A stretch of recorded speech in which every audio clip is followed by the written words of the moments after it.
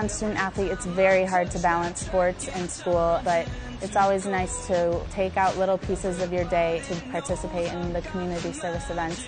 SAAC is Student Athlete Advisory Committee, and it's a committee formed within each university of a group of selected athletes to come together and talk about welfare issues and create community service projects. There are a number of outlets for athletes to be involved in aside from SAAC. I'm involved in this, which is Husky Reach, where we come and read books to the kids in the classrooms. We visit all different classrooms. We have a schedule so that we hit each grade two or three times during the semester. All the kids love us, like they look up to us, and it's just fun getting to know the little kids, and I love it. Here. I love coming here every day. Several teams take it upon themselves to do different fundraisers. When Summer Connecticut lost power, we went to a high school and we gave out free meals. During Christmas, we go help to give out toys to people in need or food to people in need. I come from a bad area at East Los Angeles and I feel thankful because I'm giving back to the community how people gave to me. Hopefully one of those kids from Hartford, from other bad areas, they could do the same thing that I'm doing.